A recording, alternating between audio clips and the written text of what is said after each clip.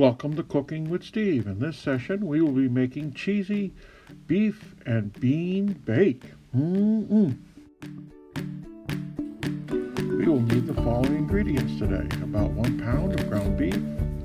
We will need about four tablespoons of butter. We will need about six ounces of shredded cheese. We will need about six ounces of tomato sauce. We will need a half a teaspoon of salt. We will need about a half a teaspoon of black pepper. We will need one can of baked beans, one tablespoon of Worcestershire sauce, about one and one third cups of milk,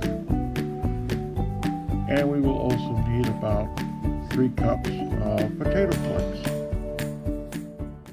Here's a cooking hack for you all. Uh, when you're storing dry goods, cut off the uh, top of the box for the instructions on how to make it and put it in the container with the dry goods.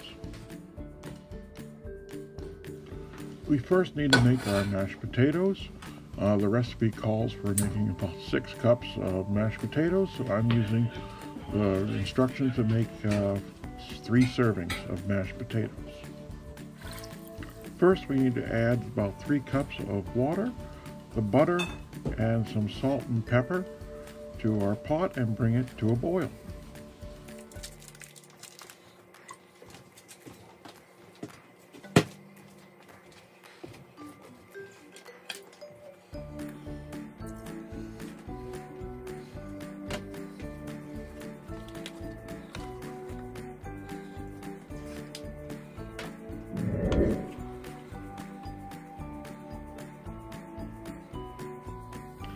When your water has come to a boil, add your potato flakes into your pot. Uh, you will need about three cups of potato flakes and stir it thoroughly. Then add your milk, stirring again. And you, I always found I need to add a little bit more potato flakes than the recipe calls for.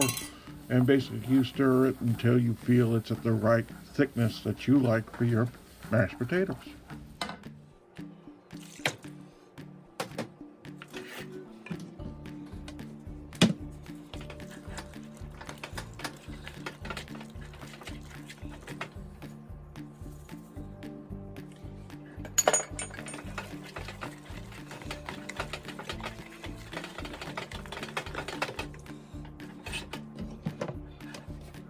Once the mashed potatoes are at the thickness that you like, put them aside.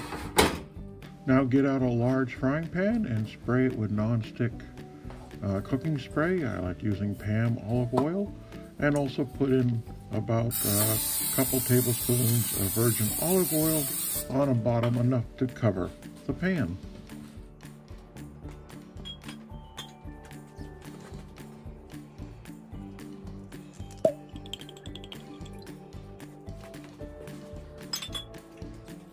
Take your ground beef and put it in the pan, breaking it up and cooking it. And like any good cook, if you make a little spill, well, clean it up.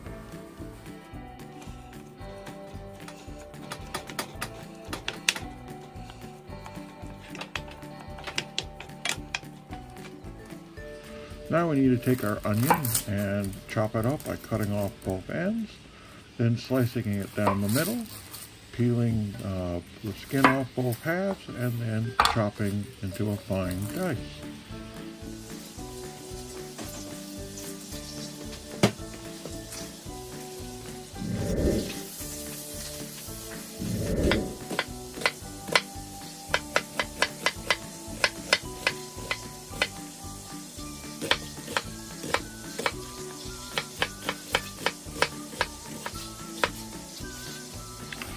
Take your chopped onions and add it to your uh, ground beef that should be cooking and getting close to done. Stir in your onions and your ground beef as they are getting close to being done cooking.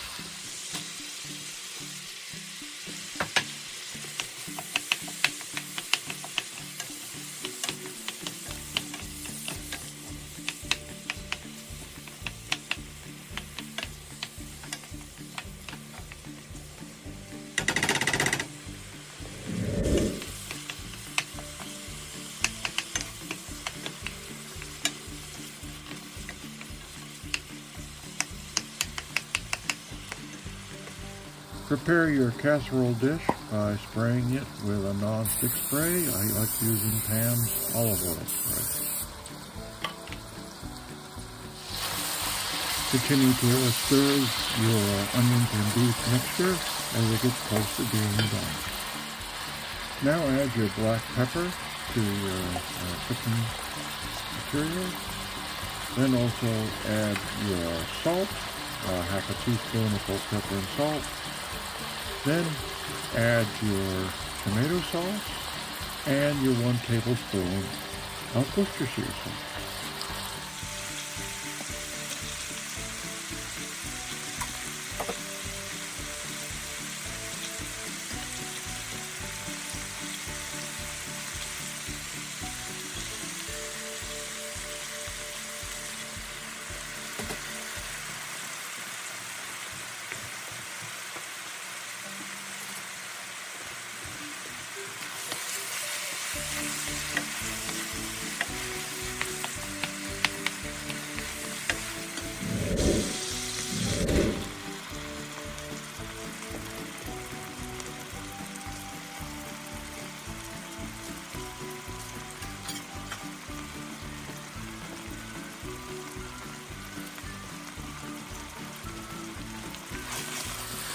Stir all the ingredients thoroughly to incorporate all of the ingredients fully.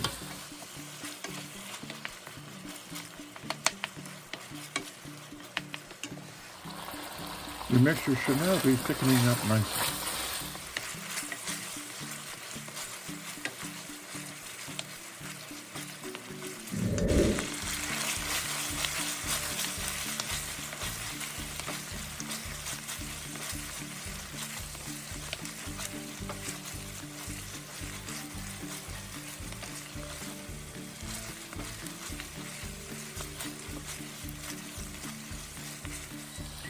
Remove from heat once your mixture is completed cooking.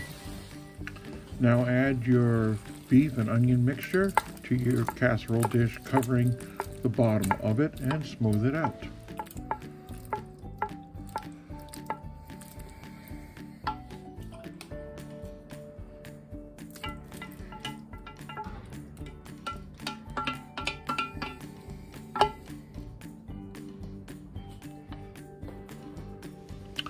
Top of the beef and onion mixture, uh, place your one can of baked beans and smooth that on top of your beef mixture. Now take your mashed potatoes that you earlier prepared and put them on top of the beans.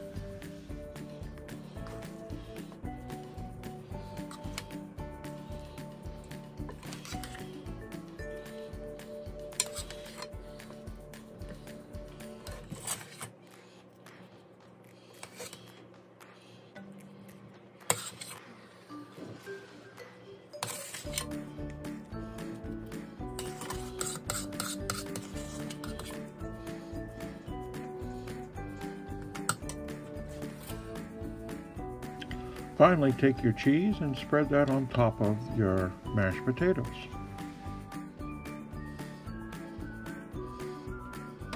Now, in a preheated oven at 375 degrees, place your casserole in and cook for approximately about 40 minutes.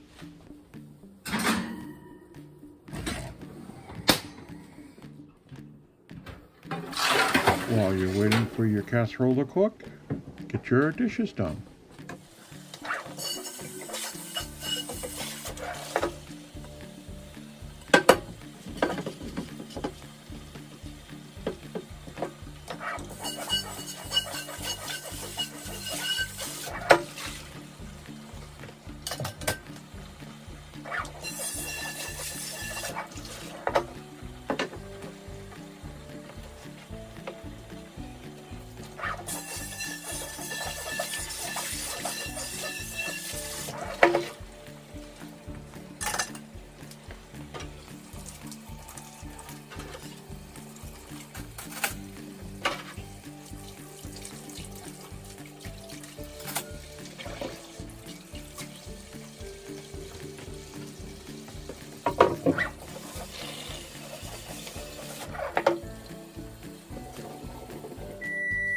Been about 40 minutes. Let's see how our casserole is looking. Ooh, that is looking good.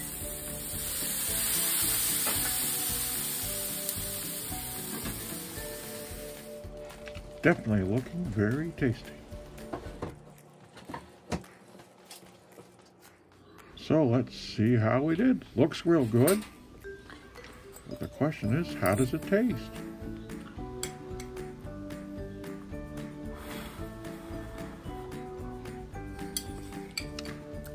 Delicious.